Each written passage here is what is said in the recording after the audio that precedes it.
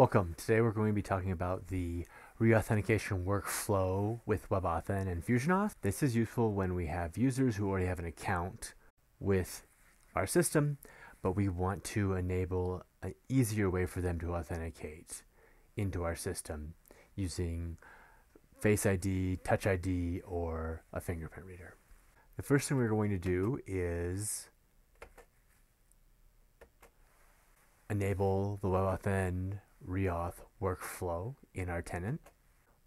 So once you've done that as an admin, you need to save the tenant and log out.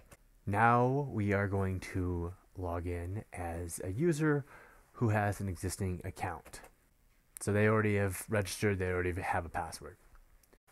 FusionAuth recognizes that they have a WebAuthn compatible browser and prompts them to register a passkey.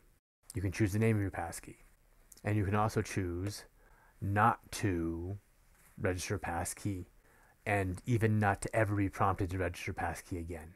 That's what the not now button is for. Here I'm logging in with my Touch ID or my Face ID or whatever WebAuthn method I have. If I go to manage my passkeys, you can see that I have a passkey registered.